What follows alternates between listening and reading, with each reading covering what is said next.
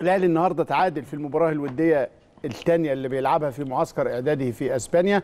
تعادل مع فريق إنجليزي بيعسكر هناك نيوبورت كاونتي واحد واحد. آه المباراة كان تقدم الفريق الإنجليزي بهدف وتعادل الأهلي. مارتن لاسارت المدير الفني بدأ المباراة بتشكيل فيه علي لطفي وباسم علي ومحمد نجيب ورامي ربيع ومحمد هاني وعمرو السولية وحسام عاشور وناصر ماهر وأحمد حمودي وإسلام محارب وعمرو جمال. واضح جدا إنه الخواجة بيجهز كل اللعيبة وبيدي الكل فرص كاملة. في الشوط الثاني دفع في بدايته بعدد من التبديلات. شارك حمدي فتحي وشارك أحمد فتحي وشارك علي معلول وصالح جمعة ومحمد شريف وأحمد الشيخ وصلاح محسن.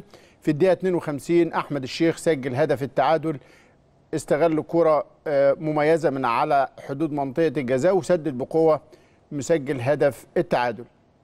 الدقيقة 63 دفع لاسارتي بأحمد علاء وياسر إبراهيم وهشام محمد لتنشيط خطوط الفريق.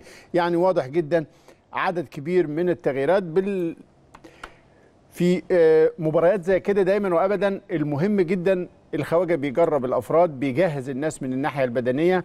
بيجرب بعض ال ال الأمور الفنية اللي تخصه كمدير فني ما بيبصش للنتائج وما بيبصش لمستوى المنافس لكنه بيلعب بشكل تدريجي يعني حتى الماتشات الودية اللي بياخدها بيراعي دايما وابدا فيها التدرج في المستوى عشان يقدر يقيس كل ما وصل إليه سواء من ناحية الاستيعاب البدني أو الاستيعاب الفني. آه جيرالدو الأنجولي وصل وعمل برنامج خاص تأهيلي آه بعد وصوله امبارح لمعسكر الإعداد في أسبانيا بعد ما انتهى. دي لقطات لوصول جيرالدو لمعسكر الفريق في أسبانيا بعد ما انتهى من آه مشاركته مع منتخب انجولا في كأس الأمم الأفريقية. خد أجازة قصيرة وسافر. المعسكر زي ما أنتم شايفين ومتابعين في أجواء كتيرة جدا كويسة. آه كابتن محمد يوسف المدير الفني بيبدي سعادته الكبيرة وارتياحه لكل تفاصيل المعسكر وإمكاناته وقال الكابتن سيد عبد الحفيظ كان موفق للغاية في اختيار مكان المعسكر وإمكاناته وإنه شايفه الجهاز الفني إنه نموذجي في كل حاجة. أضاف الكابتن محمد يوسف إنه أهداف المعسكر الحالي بتختلف عن طبيعة المعسكرات المعتادة اللي بتستهدف إعداد اللاعبين للموسم الجديد. ده معسكر غريب من نوعه لأنه أنت باستمرار بتعمل معسكر زي ما كابتن محمد يوسف بيقول علشان تجهز للموسم الجديد. ده البري سيزون. طب أنت النهارده بتجهز لما تبقى؟ يعني الأهلي بيخوض معسكر استعدادا للموسم الماضي. ده لبطول لبطولتين آه ثلاث بطولات. أيوه. دوري وكأس سوبر. أها. أنت بتجهز عشان تلعب ثلاث بطولات. امم منه بطولتين آه، آه، آه، أنت يعني مطالب انك على الأقل الدوري هتلعبه في ثلاث أيام. لسه الكاس ما تحددش. آه، في خلال أسبوع هتكون لعبت مباراتين. فيهم البطولة الدوري كأنك بتلعب كاس برضه أنت دلوقتي وصلت إلى مرحلة إنك أنت آه، يعني عايز توصل وأنت في عز آه، لياقتك وهذا غير عادل بالمرة. الأهلي كان في أحسن فورمة قبل التوقف. آه، المنافس كان يتعثر. إيه مين مين يقول إن ده عدل إنك تأجل كل الظروف دي عشان يبتدوا الاثنين من نقطة الصفر على المجهول. فطبعا لم يكن الأمر عادلا بالمرة ولكن هذا آه، يعني موسم آه، سيتوقف التاريخ أمامه لأنه الحقيقة آه، احتوى على مجموعة من الأحداث والظواهر. عايزه عايزه عايزة وقفات وتحليل وعايزه ووراها كواليس جامدة جدا. شايفين أنتوا بعض الجوانب من داخل المعسكر. الواضح جدا انه فعلا ال- الجهاز مبسوط من ال- الوضع وحتى في اهتمام واضح من بعض المصريين اللي ممكن يكونوا بيزوروا المعسكر هناك علشان يطمنوا أو يتابعوا استعدادات الفريق. طبعا على كل المستويات يا باشمهندس. انت عندك عدد كبير من اللعيبة عندك ناس صاعدة عندك ناس جديدة عندك ناس راجعة من الإصابات فبيجهز الكل الخواجه واحد من أهم من أهم المعسكرات اللي عملها النادي الأهلي. هي بتشكل يعني وجهة نظرك في الموسم اللي جاي ومستقبل الأهلي القريب مش البعيد. مم. عندك عناصر جديدة آه عايز تشوفها. عندك آه آه عناصر آه بيعاد تاهيلها عندك تحديات زي ما قلنا على آه ألقاب وبطولات. فهو معسكر آه حرج والله يكون في عون الجهاز الفني. أنا المرة دي يعني آه يعني شايف إن هو عايش حالة من التركيز والضغط آه الشديد جدا. اللعيبة مؤكد إنها هتتنافس عشان تنال شرف تمثيل الأهلي. لكن لما تيجي تتابع الماتشين الوديين لعيبة زي أحمد الشيخ في المباراتين للمرة الثانية هو يسجل. آه، دي علامة طيبة لأن أيوة. اللعيب ده بيحظى بحب وثقه قطاع كبير جدا من الجماهير وكانوا نفسهم يشوفوه وهو يتوهج مع النادي الأهلي. طبعا بعد المعسكر ده أنت هت- هتقدر تحط النقاط على الحروف هل أنت اكتفيت بالنسبة لصفقاتك ولا ما زلت لسه عايز مركز أو اتنين. والأخطر واللي أنا قلته قبل كده يا جماعة لحد دلوقتي مش عارفين النظام اللي هنمشي عليه السنة الجاية. لازم يطلع شيء رسمي النهارده من اتحاد الكورة عشان كل الناس ترتب آه، أوراقها وأوضاعها.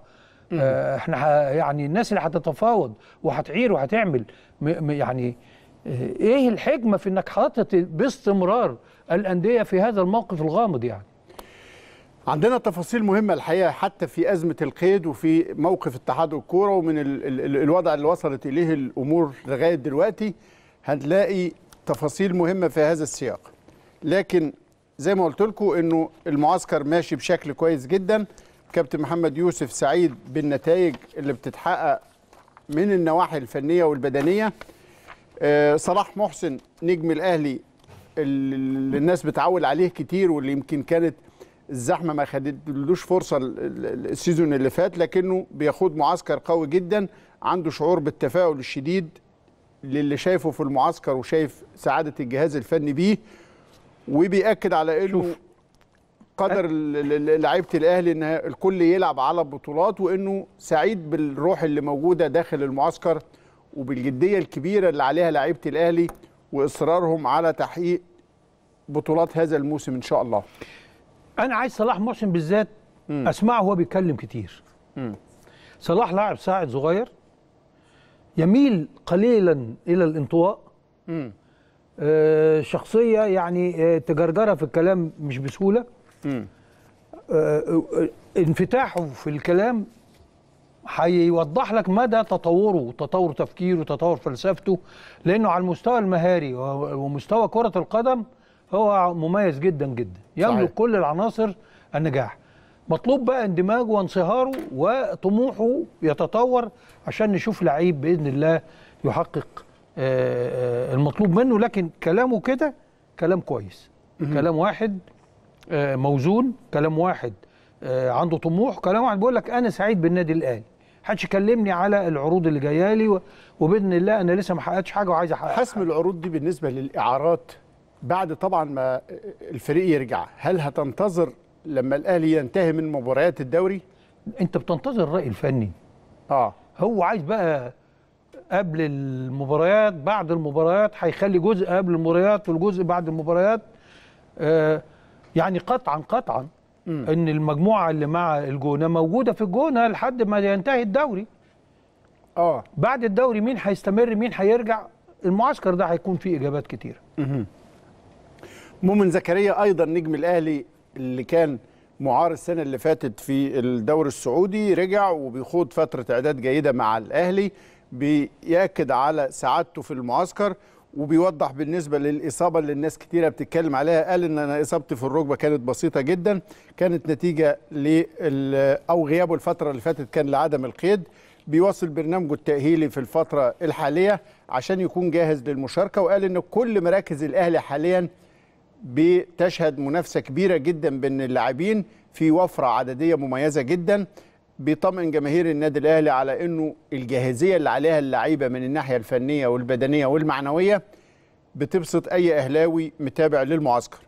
شوف آه، برضو نفس الكلام اللي قلته على بس مع باختلاف ال- يعني المعايير يعني. أيوه. برضو أحب أشوف الفترة دي. آه، تطور كلام وفهم وتفكير ورؤية مؤمن زكريا واحد من أهم اللعيبة في النادي الأهلي. يكاد يكون واحد من أهم لاعبي الجيل الحالي في الكرة المصرية. أيوه. عنده خبرات هايلة جدا. صحيح. بيتحرك وبيلعب بوعي هائل ومش محتاج إنك أنت تشرح له آه، دوره في الملعب. لما بيكون كويس إضافة قوية جدا جدا جدا. هو إحنا على مدى آه، الشهور الماضية ما شفناش آه، ما شفناش جاهزيته. آه، وهو ارجعها إلى عدم قيده. إنما آه، النهارده المعسكر ده أيضا سيحمل إجابات مهمة جدا. يا ريت يا ريت يا ريت مؤمن زكريا يرجع مؤمن اللي إحنا عارفينه لأنه إضافة هائلة. حراق. يعني لعيب عنده نضج عجيب جدا ويعرف يتحرك فين ويعرف يدافع إمتى ويعرف لعيب صحيح. يعمل لك assist إزاي. لا لعيب مهم مهم يعني. مارتن لاسارت المدير الفني بينفذ بعض النواحي التكتيكية والخططية زي ما قلت لكم في المعسكر وكمان بيجتمع مع بعض اللعيبة كل على حدة علشان حسم بعض الأمور. يمكن كان له قاعدة مع محمد نجيب قلب الدفاع الحقيقة نجيب لاعب مخلص جدا لاعب منتمي جدا. كل ما كان الأهلي بيحتاجه في أي فترة تلاقيه يرجع يشارك. لو الجهاز الفني مش عايزه لا يمكن تسمع عنه مشكلة ولا تلاقيه طرف في أي أزمة خالص. باستمرار جاهز وباستمرار بيأدي. ولما الجهاز بيحتاجه بيلاقيه دايما وابدا جاهز. كان غاب الفترة اللي فاتت الطويلة ديت بعد ما أجرى أو أجريت ليه جراحة رجع واتمرن وبقى كويس جدا والخواجة بيجتمع معاه علشان بعض الأمور اللي خاصة بيها يا باشمهندس.